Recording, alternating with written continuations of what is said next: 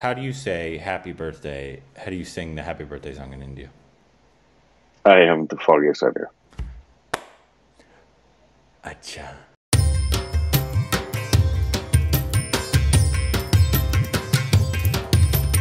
Our stupid reactions. Tune in for.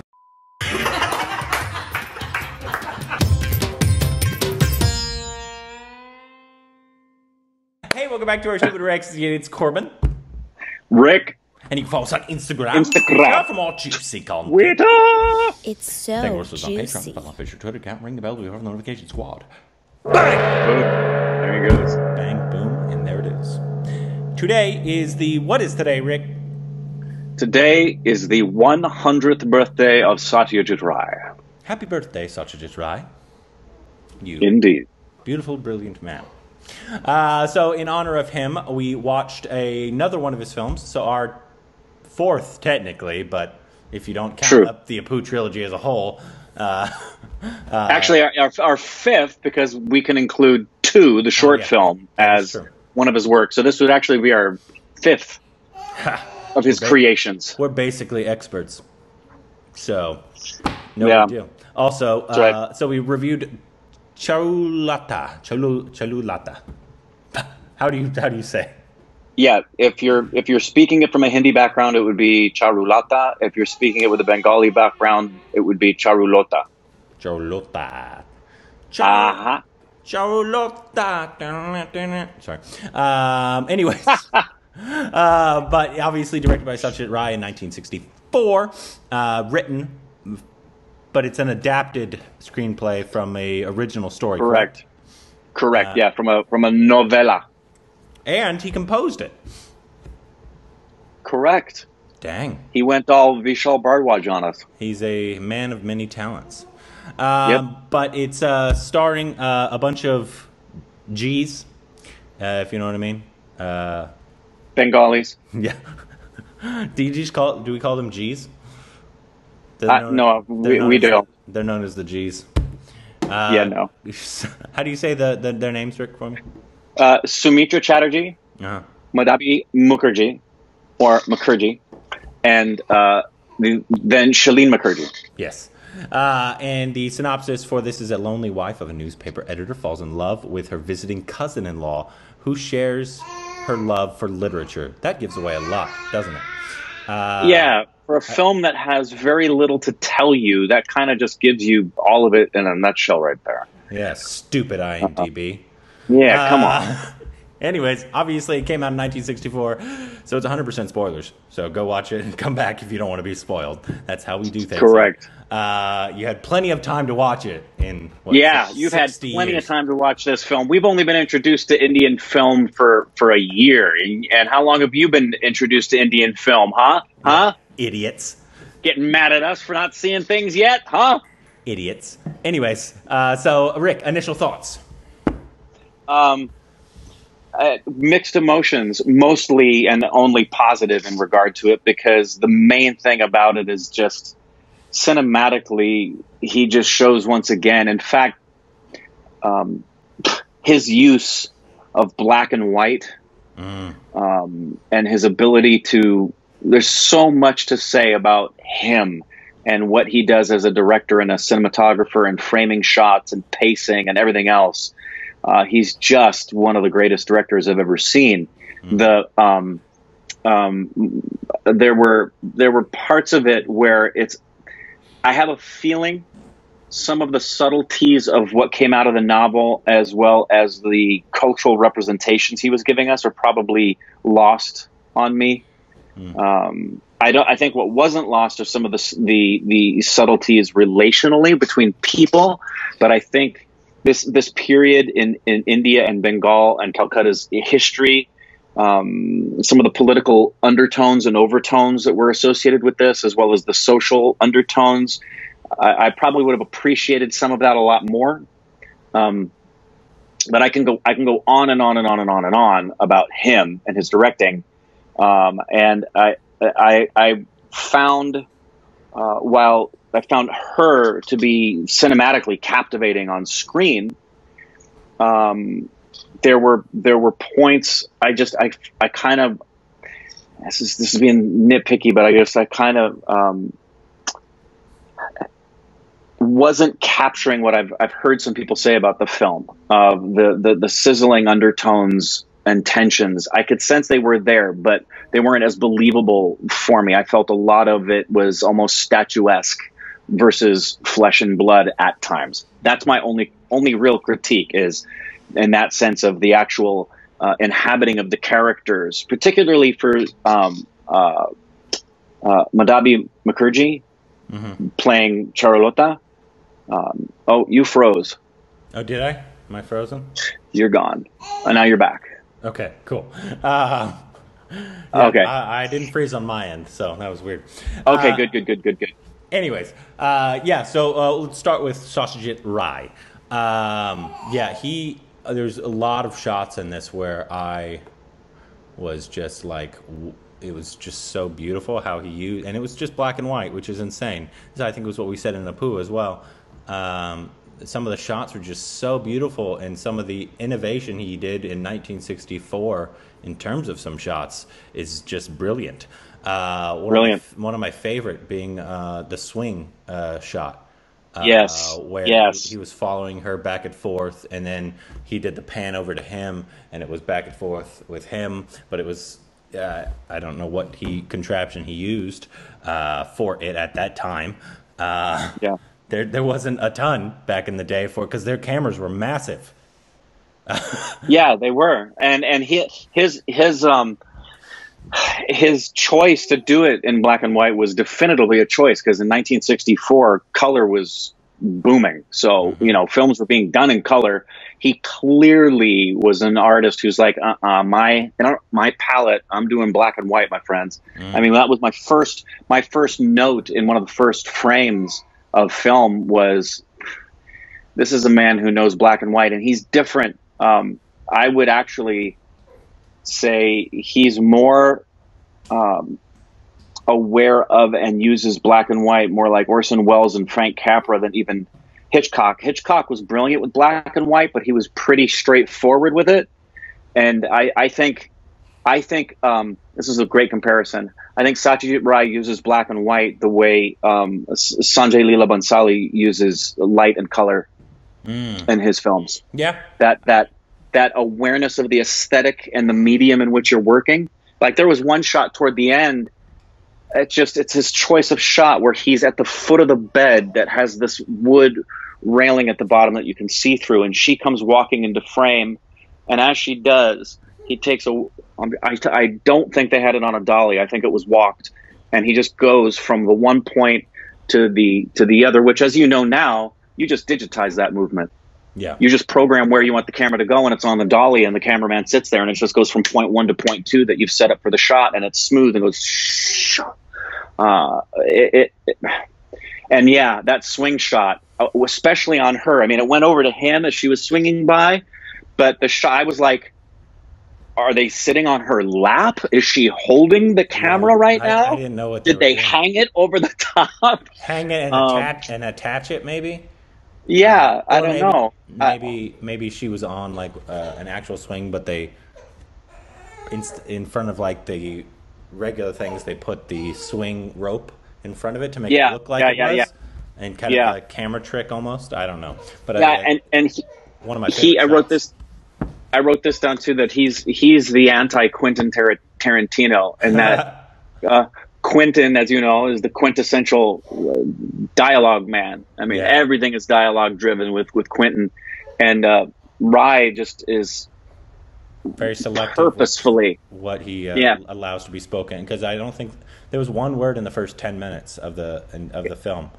It was ten minutes says, before "Mm, somebody spoke.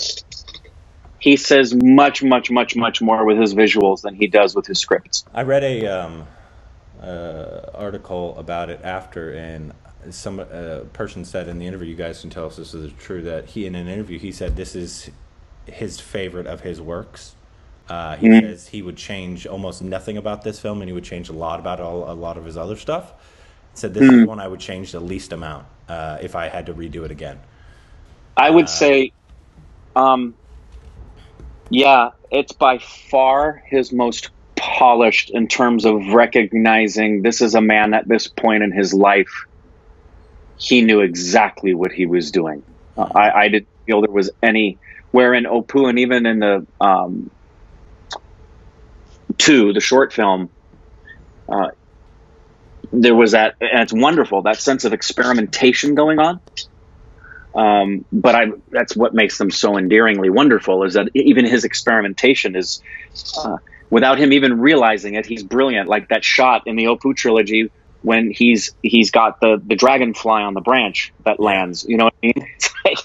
Yeah, uh, but yeah, my my and and he can. Um, one of my favorite things that seems to be a thumbprint on everything we've seen is it's not just that he doesn't need the dialogue or even want the dialogue, but he's very happy letting you feel something and just letting things sit for very, very, very long periods of time. Yeah.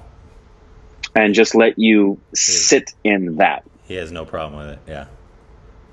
Yeah, he wants you to just be there. And I I love the little the nuances of how just a glance means something or a touch of a hand means something or uh, um, and again like as as I I felt that every moment that um, uh, Madhabi Mukherjee was on screen she like so far all of the the female leads he's had they are just so the camera loves them they're mm-hmm. they're they're so such beautiful women to look at and so expressive in their eyes um, but but the one thing for me that was missing was it. Um, and again, it may be just lost on me. Was I I wanted a little bit more humanness. I felt there was the one who had the most humanness to me was the was the the husband. I, I had my most, and it may be because I was most empathetic towards him because I felt like he was the victim in all of this.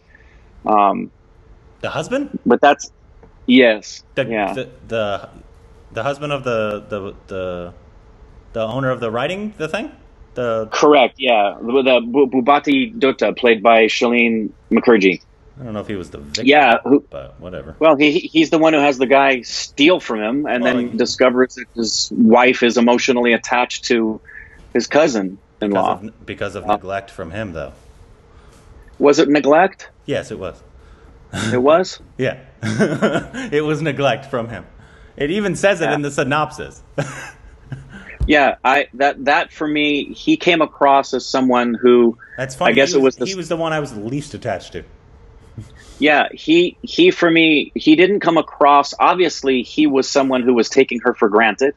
Mm-hmm. Uh, but I felt like she too.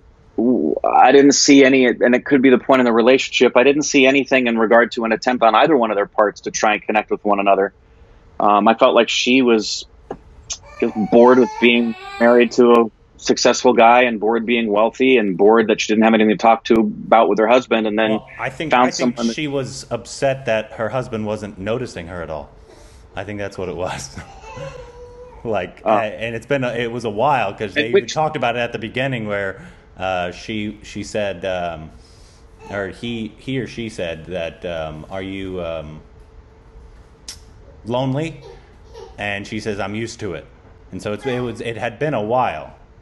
Uh, well, that's loneliness. That's not neglect. Uh, that's he's even said in the thing that her rival is the paper, so that gets all of his attention. She gets none of it, and so that's going to cause some neglect. Yeah. Where, what? I'm sorry. Which um? Where? What's what's synopsis? The uh, Oh, never mind. I guess I read it into the synopsis. It's not in the synopsis, but um, I thought I, I thought I read it because the uh, who shares love. I thought I read that it was because of the father, the the husband's neglect, but that's that's what I think it is. Um, not that I'm saying she's right in it, but that's why she that's why she was she found somebody who actually paid attention to her and showed her uh, showed interest in her interests, um, as opposed to just thinking about himself. And so, yeah, that's uh, that's why she found um, him. But then, obviously, I thought Anal, uh, Anal, Am, Amal, Amal, how do you say his name? Uh, yeah, or Amal. Yeah, I don't know how to pronounce his name. Um, I thought his character was actually really, really interesting. um, because you didn't know Yeah, what I they, did too. what they were going to do. Were they going to run off together? Were they going to start a relationship? Was he also going to betray his cousin like the other guy did? Um, but then he felt really, really bad because he saw what was going on, and then he Yes. he he left. And then the husband realized after he saw her crying um, really emotionally in the uh, in the bedroom that he was like, "Oh, Mm-hmm. I should probably pay attention to my wife." Uh, and so, uh, yeah, I didn't capture that as much as I felt. Um, I felt. I felt it was a bit more complex than that. I didn't think it was as simplistic as he's just an uncaring husband who wasn't paying attention to his wife I- and got his comeuppance by reason of the fact that she I just, you know, what is she supposed to care do? about her. I think he just d- didn't pay attention to her and wasn't putting her as a priority. He put his paper as a priority, not not his wife. And so she felt neglected, and, and she wanted to feel loved, and that somebody was interested in her. And so that's Yeah, one of one of my one of my favorite things about it was the way it portrays, and this is a very real thing that I think is lost in a lot of society today, is that intimacy between two people happens way before anything happens physically. If you're talking about true intimacy, because having having sexual connection to somebody is not intimacy in and of itself. Um, that doesn't mean you've been intimate. There's people who go out and have one night stands with people. You were never intimate with that person. Um, you just went out and turned them into a sex object. Um, the the real intimacy and the kind of intimacy that's dangerous to other relationships, where if someone's married and they find themselves becoming emotionally intertwined with somebody, uh, it's in conversation, and that that to me was the point of real disconnect because uh, he the, the husband was absolutely interested in conversation um, I felt that she was not interested in conversation with him. I, they just didn't have a lot in common. I don't. I don't know that either one of them really I were seeking I to don't try to. I agree with that, but okay, that's fine. we Yeah, don't have, I- we don't have I to harp on that too much. No, no, no, no, no. I, I, that's just that's just a character development thing, either within the story or the script, where I didn't I didn't think she either was trying to be conversant with him. And granted, maybe because she'd been ignored for a lot of years, and so she was unhappy because she finally reached a point of like not giving him the story. Like, why would I give you the story if I don't think you're going to really care or pay attention? So I'm not negating the fact that there was neglect. I just it's those. I wish I had felt more of that humanness in these things we're talking about: neglect, loneliness, being ignored. Um, uh, it, in in in Ray's capacity to tell us that as a director, I thought it was superlative. But as it came to the actors giving us an embodiment of an actual human being, it felt statuesque. Sometimes, sometimes. I don't know if I agree with that, but that's fine. Um, yeah, the uh, I think actually in the beginning when he, he he shows that he's not really interested in conversation except for his own when his cousin was telling him started to tell him the story and he just told him the title and then he just went on his right he's like that doesn't make any sense. Okay uh, you need to get married. He didn't even listen to his story. He's not interested in anything except for what he has to say. That's what i got out of it.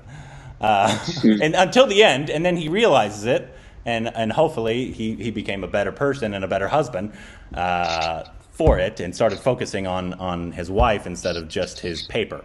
And so that's what i got out of it. Um, but uh, the uh, I thought my favorite character was probably Anel. I thought he did the best um, of of them all. But I guess we've seen him before, right? He was the Apu in Apu. That's right? Opu. Yeah, that's Apu. Yeah, that's Opu. Yeah, I thought. And we've also seen him in, uh, I, I, if I'm not mistaken, the very first time we actually saw him. it was in a um, short film, right? Soumitra, yeah, Soumitra Chatterjee was in that short film where the, the the guys disappear and become dolls. It's Sujo Josh. That's his. That's his short film. Yeah. Yes, Yeah, that's his. Uh, so yeah, I, I think he's a really good actor. He was he was probably my favorite actor in this, um, and I thought it was really interesting. Ninety percent of the film took fi- place in just the house.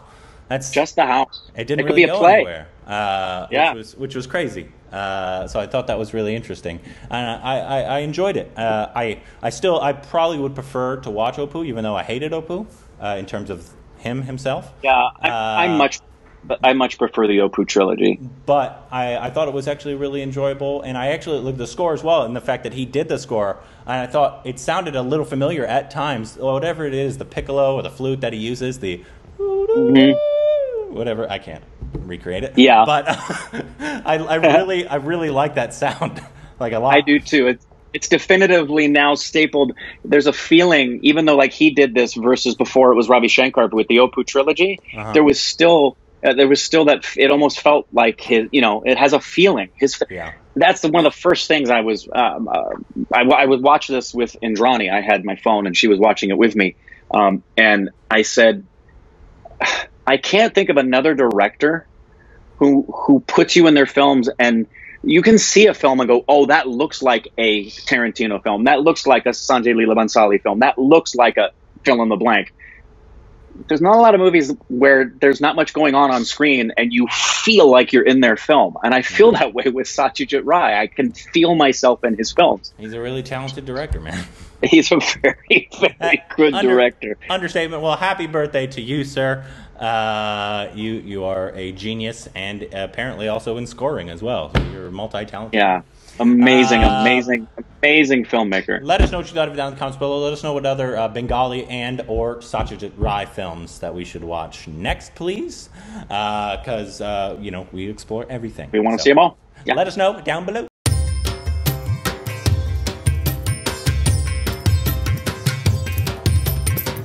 Stupid reactions. Tune in for